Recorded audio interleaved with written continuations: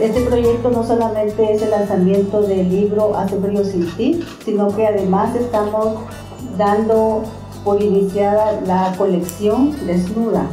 Desnuda es una colección de antologías, ¿verdad? Estamos empezando con este libro donde se recogen los poemas de amor. Aida, fusilemos la noche. Aida, fusilemos la noche y la terrible miseria colectiva. Aquí tenemos estas cuatro manos y tenemos mi voz. Nos respaldan tus ojos y tu suave manera de ir queriéndome. Nos respalda esa sangre proyectada hasta el cuerpo del Hijo.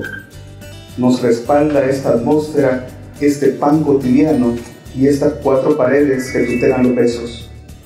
Rompamos ida esta tormenta amarga. Hay que construir pañuelos con luceros para secar las lágrimas del hombre hay que llevar al niño a su música antigua, hay que volver a fabricar muñecas y hay que sembrar maíz en las ciudades. Hay que dinamitar los rascacielos y dar lugar para que ascienda el trigo. Hay que hacer instrumentos de labranza con los buses urbanos. Aida, fusilemos la noche y esa horrible bandera. Aida, fusilemos la noche y los negros cañones y las bombas atómicas fusilemos el odio y la terrible miseria colectiva. Ningún poeta se ha hecho poeta con otros temas que no sea el amor. Ya después ese amor en Roque Dalton se extiende. El amor a la patria, el amor al pueblo, el amor a la lucha, el amor a cambiar la realidad del país.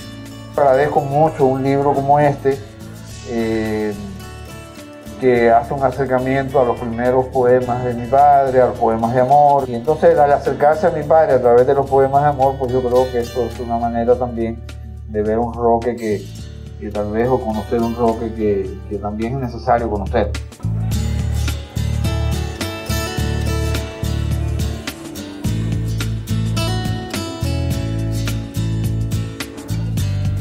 Creo que la Editorial 5 y la familia Dalton, la Fundación Dalton, han, eh, han acertado con comenzar esta difusión de la poesía de nuestro máximo poeta y uno de los salvadoreños más universales.